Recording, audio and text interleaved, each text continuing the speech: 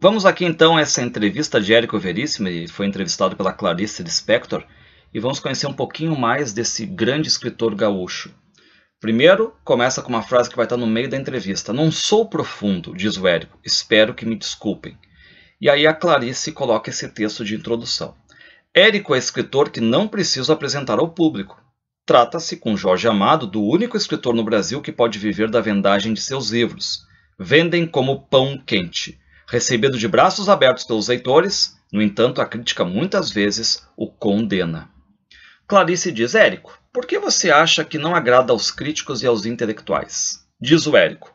Para começo de conversa, devo confessar que não me considero um escritor importante. Não sou um inovador, nem mesmo um homem inteligente. Acho que tenho alguns talentos que uso bem, mas que acontece serem os talentos menos apreciados pela chamada crítica séria, como por exemplo de contador de histórias. Os livros que me deram popularidade, como Olhar os Írios do Campo, são romances medíocres. Nessa altura me pespegaram no lombo literário vários rótulos: escritor para mocinha, superficial, etc. O que vem depois dessa primeira fase é bastante melhor, mas que diabo! Pouca gente, refiro-me aos críticos apressados, se dá o trabalho de revisar opiniões antigas e alheias. Por outro lado, existem os grupos.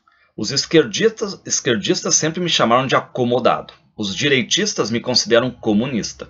Os moralistas e reacionários me acusam de imoral e subversivo. Havia ainda essa história cretina de norte contra sul. E ainda essa natural má vontade que cerca todo escritor que vende livro, a ideia de que best-seller tem de ser necessariamente um livro inferior. Some tudo isto, Clarice, e você não terá ainda uma resposta satisfatória à sua pergunta. Mas devo acrescentar que há no Brasil vários críticos que agora me levam a sério, principalmente depois que publiquei O Tempo e o Vento. Bons sujeitos. Clarice diz: Você se sente realizado como escritor, Érico? Eu, por exemplo, ainda não me sinto e tenho a impressão de que será assim até eu morrer. Érico diz: Realizado não, mas confesso que não me sinto frustrado. Agora, acho que você tem todo o jeito de considerar-se realizado. É pena que isso não seja no escritor uma questão de direito. Você, na minha opinião, trouxe algo de novo e importante para a nossa literatura. Clarice pergunta: e como você, e como homem, você se sente realizado? Você, Érico, é uma das pessoas mais gostáveis que conheci. Você é uma pessoa humana de uma largueza extraordinária. O que é que você me diz disso? Érico responde. A resposta é quase idêntica à pergunta anterior. Reduzi ao mínimo as minhas frustrações. Sempre fui um sujeito tímido e moderado, até no sonho e nos projetos. Tenho tudo ou quase tudo quanto desejei e muito mais do que ousei esperar. A ideia de ser querido, digamos a palavra exata, amado, me agrada, me alegra mais do que a ideia de ser admirado. Se você me perguntasse se eu sou um homem natural, para ser bem sincero, eu lhe confessaria que de certo modo moldei a minha própria imagem à face do homem que eu desejo que os outros vejam. Clarice diz: Você trocaria seu público que você adora, que adora você, por uma crítica que lhe fosse mais favorável? O Érico diz: Não. Não trocaria o meu público por uma crítica mais favorável. Aí a Clarice diz: Érico, sem interromper o assunto, estou me lembrando com saudade de Washington. Eu, como mulher diplomata, e você trabalhando na UEA. Você se lembra de como eu fazia ninho na vida e na casa de vocês? O que é que você estava escrevendo nessa ocasião? Eu, por exemplo, estava escrevendo A Maçã no Escuro. Foi um período muito produtivo no sentido de trabalho e no sentido de uma amizade que se formou para sempre entre você, Mafalda e eu. O Érico diz: Quero que você saiba, e aqui falo também em nome da minha mulher, que as melhores recordações que guardo da nossa estada em Washington DC são as das horas que passamos em sua casa, com você e sua gente. Detestava o meu posto na União Pan-Americana. Não consegui escrever uma linha durante esses três anos burocráticos. O que sobrou de melhor desse tempo foi a nossa amizade. Você saiu daquela chatice federal com um romance denso de substância humana e poética. Clarice pergunta: qual é o seu personagem mais importante? O meu é sempre do livro que eu esteja escrevendo no momento. O Érico diz: O primeiro vulto que me vem à mente é do Capitão Rodrigo. Depois penso em Floriano, meu sósia espiritual, mas não me decido a escolher. Prefiro dizer que os meus personagens mais importantes são as mulheres de O Tempo e o Vento, como Bibiana e Maria Valéria. Clarice pergunta: Os críticos, ao que ouvi dizer, acham você pouco profundo. O que me diz disso? O Érico responde: Lembro-me lembro de um escritor francês que costumava dizer que um quarto, digamos assim, de hospital é mais profundo, digamos, tem mais profundidade, né?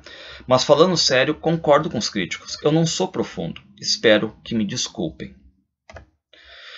Clarice diz: Quando foi, Érico, que você começou a escrever? E motivado pelo quê? O Érico diz: Em menino, na escola eu fazia primorosas redações, grau 10. Foi ainda em Cruz Alta, atrás de um balcão de farmácia, que escrevi o primeiro conto. Por quê? Não sei. Aí me lembro que naquele tempo eu ainda pensava que podia ser pintor, Aliás, acabo de comprar uma caixa de tintas. Pintores do Brasil, alerta! Meu primeiro livro de histórias, Fantoches, ainda leva a marca das minhas leituras da época, Oscar Wilde, Bernard Shaw, o infalível Anatole France. A Clarice diz: Surpreendo-me de nenhum cineasta ter feito um filme baseado em alguns dos seus livros. Você gostaria de se ver no cinema? O Érico diz: Uma companhia argentina filmou O Olhar e os Íris do Campo em 1946. O retrato também foi transformado num filme com gente de São Paulo. Nos Estados Unidos, Noite foi deformado num teleplay com Jason Roberts, Franchot Tonet e E.G. Marshall. Medonho. Todos os anos recebo propostas de cineastas que querem filmar o continente. Fico tudo, fica tudo em vagas conversas. Sou péssimo homem de negócios, detesto discutir contratos e quando discuto, saio perdendo.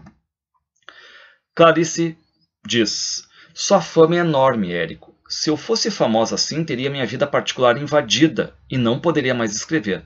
Como é que você se dá com a fama? Eu soube que o ônibus de turistas em Porto Alegre tem como parte do programa mostrar sua casa. O Érico diz: É claro que a fama tem um lado positivo, a sensação de que a gente se comunica com os outros passa a existir para milhares de leitores. Não só como autor, através dos personagens, como também como uma espécie de figura mitológica. É engraçado. Essa história do ônibus me encabula muito, mas eu cultivo a virtude da paciência e detesto decepcionar aqueles que me procuram, os que me querem conhecer em carne e osso. Minha casa vive de portas abertas. Há noites em que temos de 10 a 20 visitantes inesperados. Todas as semanas recebo dezenas de estudantes que querem entrevistar-me e a gama vai do curso primário ao universitário. Pessoas com casos sentimentais me procuram para desabafar. Empresto-lhes o ouvido, o olho e não raro uma afetuosa atenção. Frequentemente consigo ajudar realmente um ou outro paciente, e isso me alegra. Mas pelo amor de Deus, Clarice, não pense nem deixe que seus leitores imaginem que eu me levo a sério. Clarice diz: Érico, qual foi a sua maior alegria como escritor? Érico diz: O meu primeiro livro publicado? O primeiro traduzido? Não sei. Tive e continuo tendo muitas alegrias como escritor. Clarice pergunta: E como homem, qual foi a sua maior alegria? Érico diz: os filhos, os netos. Clarice diz: De onde lhe vem a inspiração para o seu trabalho? O Érico: Tenho pensado muito nisso, não sei de onde vem isso a que chamamos inspiração por falta de melhor palavra. Clarice: Você entraria na Academia Brasileira de Letras? Muita gente boa termina lá. Érico: Não. Respeito a academia, onde vejo muita gente boa. Mas não tenho, nunca tive a menor vontade de fazer parte da ilustre companhia. Questão de temperamento. Clarice pergunta: Você planeja de início a história ou ela vai se fazendo aos poucos? Eu, por exemplo, acho que tenho um vago plano inconsciente que vai desabrochando à medida que trabalho. Érico diz: Planejo, mas nunca obedeço rigorosamente ao plano traçado. Os romances, você sabe disso melhor do que eu, são artes do inconsciente. Por outro lado, estou quase a dizer que me considero mais um artesão do que um artista. E com isto você compreenderá melhor porque a crítica não me considera profundo. Clarice pergunta: Você agora percorreu meio mundo com uma falda. O que foi mais que impressionou você? Que foi que mais impressionou você? Érico diz: A Mafalda. A capacidade que ela tem de me compreender, ajudar, acompanhar e de vez em quando dirigir, sem que este teimoso gaúcho serrano se dê pela coisa. Herdei de meu avô tropeiro o gosto pelas andanças. Quero sempre ver o que está pela frente. Mafalda tem na alma no melhor sentido da palavra. Mafalda tem alma calma no melhor sentido da palavra. Quer logo estabelecer-se e radicar-se, mas eu arrasto para dentro de trens, ônibus e aviões e lá nos vamos. Gosto principalmente dos países latinos da Europa, França, Itália, Espanha, Portugal. Tenho uma fascinação enorme pela área mediterrânea. A Grécia e Israel me encantaram. Vi recentemente a Tchecoslováquia num dos momentos mais belos de sua história. No momento estou preparando um livro de viagens, pessoas e lugares que encontrei, certos momentos inesquecíveis que vivi pretexto para falar de pintura, música, paisagens, literatura, problemas humanos, política, etc. Clarice. Agora que publiquei um livro de história para crianças e outro meu vai sair por esses dias, interessa-me saber o que você pensa da literatura infantil no nosso país. Érico diz: Devo dizer que só a semana passada queria a história do seu coelhinho.